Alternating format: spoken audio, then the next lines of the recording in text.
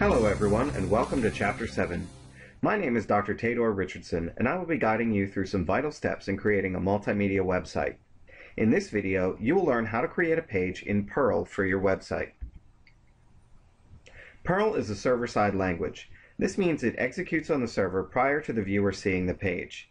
This effectively hides the source code from the viewer. Perl must be installed on the server for it to be used. Once it is installed on the server, it can be used to create a page. The page must be saved with the .pl extension for the server to recognize the code and process it. Perl code cannot be added within an HTML page. It must be used to create an entire file. The first line of a Perl file should be the path to the Perl binary file on the server. The example shown represents only the most common path.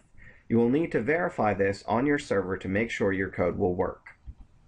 The command to output text to the browser is print. The text that is to be printed should be treated as a string. All lines of Perl code need to end with a semicolon. Variables in Perl can be declared with a dollar sign, regardless of the content they will contain. In the example shown, the variable contains the message that was printed by the print command in the previous example. The variable can be called by using its name. The result of this example is the same as the previous example that used only the print command. Unlike PHP, Perl must print all of the HTML content of the page. This includes all of the HTML page setup information and any content you wish to include. You should test your Perl pages routinely to make sure all of your tags are present and closed properly. Enjoy!